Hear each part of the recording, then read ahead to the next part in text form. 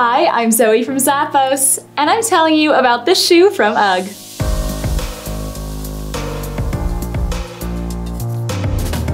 This shoe is great for a cool but put together casual look. It's got leather and textile on the upper with two of these elasticized straps on the top and a stretchy collar that will give you that locked in fit.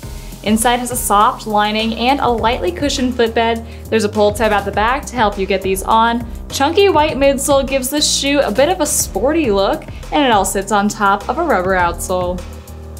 Perfect to pair with some black leggings. Grab it today from UGG.